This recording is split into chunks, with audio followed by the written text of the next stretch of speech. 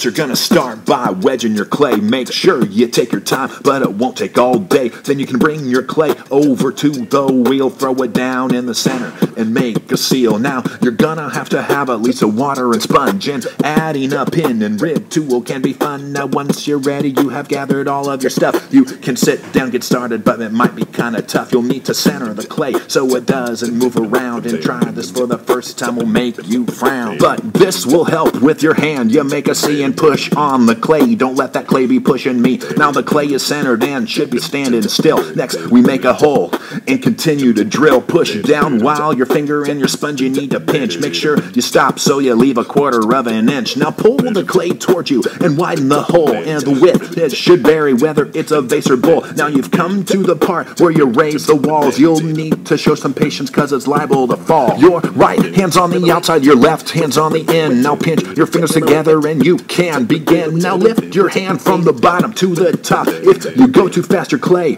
will probably plop. If you do it right, a cylinder is what you will get. Making this is something you will never regret because here from you, you can make whatever you please. A bowl, of vase, a mug to drink your favorite teas. You're either going to push in, you're gonna pull out. If you mess up, try again and try not to pout because the wheel is skill that you learn over time. Have some patience and hit repeat on this sweet rhyme.